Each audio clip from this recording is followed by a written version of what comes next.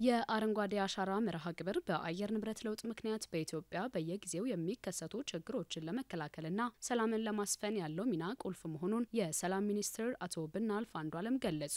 የአየር ንብረት ለውጥና አረንጓዴ አሻራ ላይ ያተኮረ የፓናል ውይይት በአዲስ አበባ ስካይላይት ሆቴል በመካሄድ ላይ ነው። ውይይቱ እየተከናወነ የሚገኘው የአየር ንብረት ለውጥ ተጽዕኖዎችን በአረንጓዴ አሻራ መዋጋት በሚል መሪ ሀሳብ ነው። በውይይቱ መክፈቻ ላይ የሰላም ሚኒስትር ብናልፍ አንዱዓለም የኢትዮጵያ ዜና አገልግሎት የቦርድ አባልና የኢኖቬሽንና ቴክኖሎጂ ሚኒስትር ዴኤታ ሁሪያ አሊ፣ የኢትዮጵያ ግብርና ትራንስፎርሜሽን ኢንስቲትዩት ዋና ዳይሬክተር ዶክተር ማን ደፍሮ ንጉሴ፣ ከፍተኛ የመንግስት የስራ ኃላፊዎች፣ በዘርፉ ላይ የሚሰሩ ተቋማትና ምሁራን፣ የዓለም አቀፍና አህጉር አቀፍ ተቋማት ተወካዮችና ሌሎች ባለድርሻ አካላት ተገኝተዋል። የህዝቦችን ሰላምና ደህንነት እየተፈታተኑ ለሚገኙ በርካታ ችግሮች መከሰት መንስኤ ከሆኑ ጉዳዮች መካከል የአየር ንብረት ለውጥ በዋናነት እንደሚጠቀስ የሰላም ሚኒስትሩ አቶ ብናልፍ አንዱዓለም ገልጸዋል።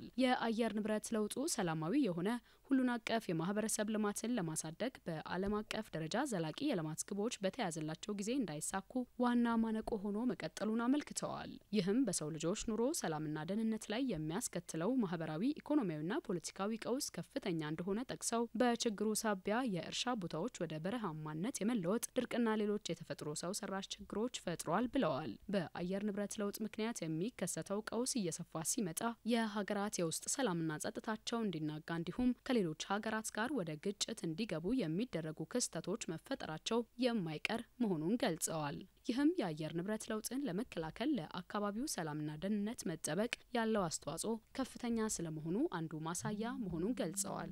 በዚህም በጠቅላይ ሚኒስትር አብይ አህመድ አነሳሽነት በየዓመቱ የአረንጓዴ አሻራ መርሃ ግብር እየተካሄደ እንደሚገኝ አመልክተዋል። ይህም የአየር ንብረት ለውጥን ለመከላከል ለአካባቢው ሰላምና ደህንነት መጠበቅ ያለው አስተዋጽኦ ከፍተኛ ስለመሆኑ አንዱ ማሳያ ነው ብለዋል። በዚህም በጠቅላይ ሚኒስትር አብይ አህመድ አነሳሽነት በየዓመቱ የአረንጓዴ አሻራ መርሃ ግብር እየተካሄደ እንደሚገኝ አመልክተዋል። መርሃ ግብሩ በቢሊዮን የሚቆጠሩ ችግኞችን የመትከልና የማጽደቅ ተግባርን ጨምሮ በአየር ንብረት ለውጥ ምክንያት በኢትዮጵያ በየጊዜው የሚከሰቱ ችግሮችን ለመከላከል ወሳኝ መሆኑን ነው የሰላም ሚኒስትሩ ያብራሩት።